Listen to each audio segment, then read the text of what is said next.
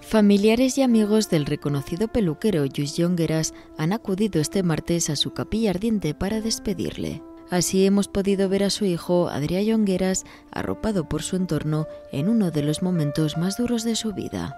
El peluquero, conocido por su estilo vanguardista y su enfoque innovador, fue un referente internacional en el ámbito de la peluquería y el estilismo. A lo largo de su carrera, Jongueras dejó su marca en numerosas pasarelas y revistas de moda, colaborando con diseñadores de renombre y trabajando con celebridades y personalidades influyentes. Además, creó diversas franquicias en academias y establecimientos de peluquería. Jongueras falleció este lunes 29 de mayo a los 87 años.